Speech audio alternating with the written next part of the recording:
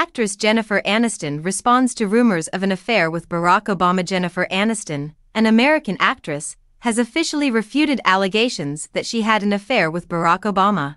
The former U.S. president, in a tale that was released just a few weeks ago, the 55 year old Friends actress and the 63 year old married former president were romantically associated.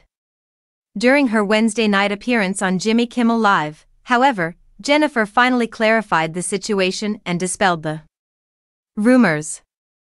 Of all the calls you get from your publicist, like, oh, no, what's it gonna be? Or you get an email saying some cheesy tabloid is going to make up a story, and then it's that, the Hollywood A-lister remarked, the report is totally incorrect, and I wasn't angry about it.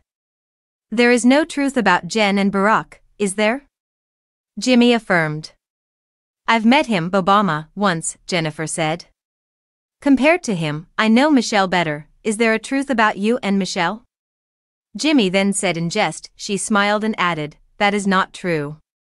As of right now, the actress is not in a relationship. After 32 years of marriage, Barack and Michelle have two daughters, Sasha, 23, and Malia, 26. And in the meanwhile, Malia, 26, and Sasha, 23, are the kids of Barack and Michelle, who have been married for 32 years.